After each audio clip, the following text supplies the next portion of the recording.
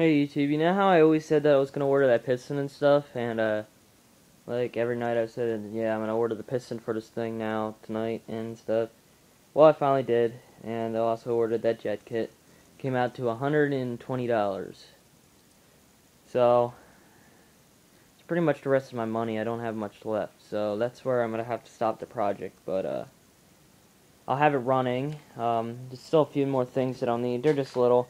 Uh, first of all, I'd like to get some shock covers, because the shocks, you know, they're not bad looking, as you can see, but they ain't the prettiest. Uh, well, the rear one isn't. I just did a quick up spray paint job. I'm gonna, I was gonna replace that sometime anyways. Because I want to get something different. Here the Banshee shocks uh, fit on here and they're a little better. Uh, let's see, chain. I didn't get a chain roller, I just put that rubber piece on there. Anything will work, I just put the rubber piece on. Chain rollers barely even roll anyways.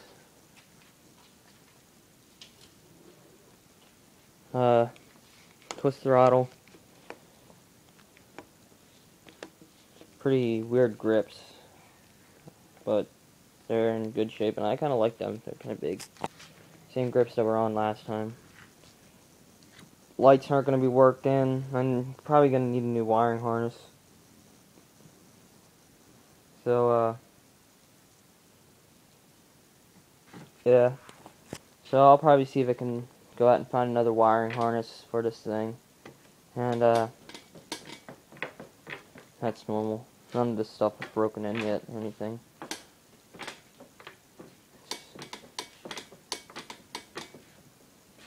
Either that or something just needs to get tightened yet. Anyways,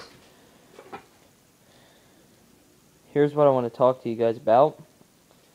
Really, is, um, you know how I said in my last video that I made, I broke that little piece?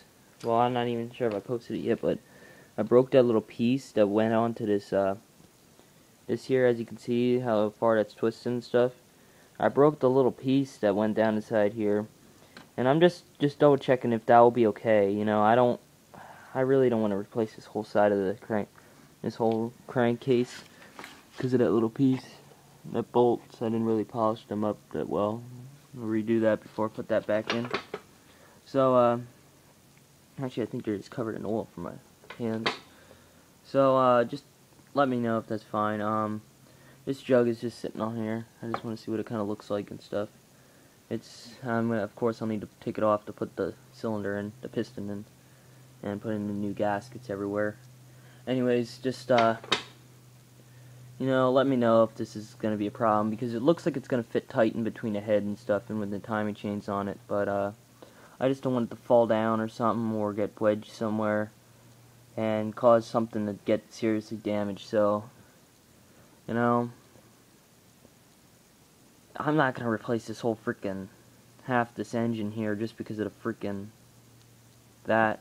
So doesn't even feel worth it. So you know, I'd be appreciated if you can give me some advice for that. I'm gonna see if I can mount it onto the ridges here somehow up in the head because it just comes all the way up to the head. Timing chain goes around there. What the, what the hell is it? Timing chain sprockets up here.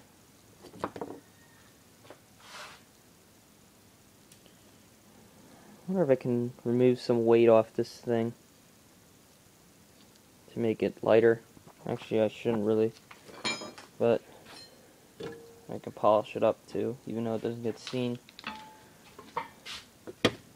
Here's the old piston. I went with a Namura, uh, Namura kit for change. You know, they're all over they're all over freaking Craigslist. It's like unbelievable, but uh, I heard they're not too bad. Uh, they're made out of pretty good quality materials, so you don't have to worry there. And uh, so yeah, I'll try that out. It's pretty much just a standard. It's the exact same